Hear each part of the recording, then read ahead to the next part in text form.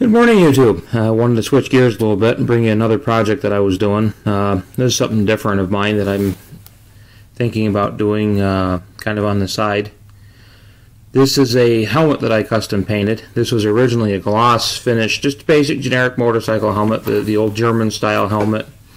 Nothing spectacular. Uh, had this originally had this glossy, shiny finish on it, which didn't look good at all. It's just kind of tacky looking. So I took it, smoothed it out, sanded it. Uh, this is nothing more than a can of Krylon flat black. This is Krylon nickel, but what I did here was I put some stencils here. This is all done with spray paint, so it wasn't any airbrush, nothing else. Um, these were some stencils that I put on over the black paint.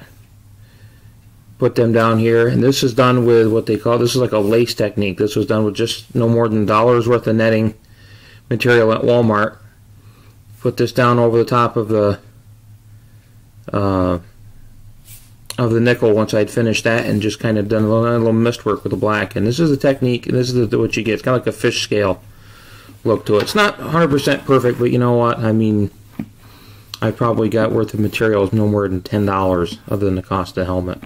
But it's a nice functional helmet. It looks good. I mean, I've had a lot of guys who've seen pictures of it compliment they like this helmet for just a simple pattern. Um, I think my next one I'm going to do, I've got a, I picked up a second-hand um, old Rawlings batter's helmet, really nice about and in real nice shape, just needs some paint work done on it.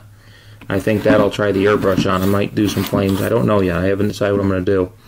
But this is the first, hopefully, of, of many little custom designs that I want to do. Um, hopefully, maybe do some of this stuff on the side. I don't know. I mean, a lot of guys seem to like this. I have one guy who was interested in it. I might put it on eBay, see what it goes for. I don't know yet. Um, but I mean, I wouldn't sell these for probably more than hundred bucks because you know what? You know, you don't need to spend three, four hundred dollars if you want a custom paint helmet. This you can do this yourself. Don't even need me to do it. You can do this yourself. This wasn't hard. Um, you don't have to do this design, but you can get an idea of what it looks like. Again, this was a twenty dollar helmet, brand new, off eBay. DOT approved helmet.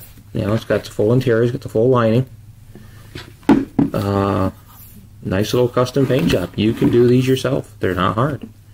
Or, you know, maybe if I get a chance, you want one want one done, maybe I'll do one. I don't know yet. I haven't decided what I'm going to do with this one. But another little project. guys can do stuff on your. You guys can do this stuff yourself. You don't need a lot of money. You don't need a lot of. You don't need to spend three, four hundred dollars on a helmet. I don't know why you guys do that. But here you go.